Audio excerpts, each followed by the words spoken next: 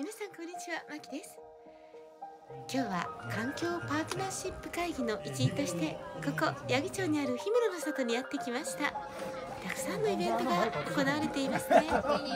どれも環境のことをとっても考えたものばかりです。他にも子供たちにも楽しんでもらえるところがたくさんありました。区長さんも来てくださってはい楽しんでくださったんですよ。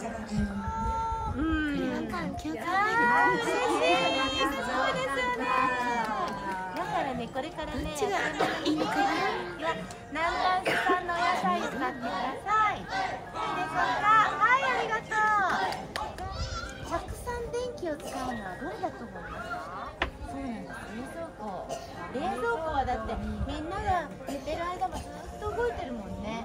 で、そであのお家の方にはね、エコエコのために冷蔵庫の中のものはいらないものを保存しないようにして減らしてもらうとえ電気代が安くなりますで私たちついついなんか保存収納庫みたいにしてるんですけどいっぱい電気を使う？のでそれはまたちょっと挑戦してみてで子供たちには冷蔵庫の蓋を開けっぱなしにしとくといっぱい電気使っちゃうどっち買うお買い物をママに頼まれたももちゃん。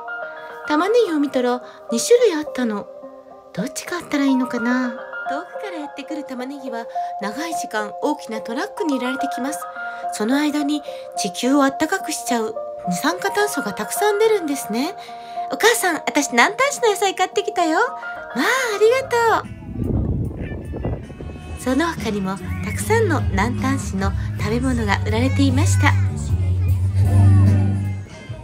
ここからのコーナーは牛糞から液体肥料を作る京都大学の大土井先生の研究によるブースです。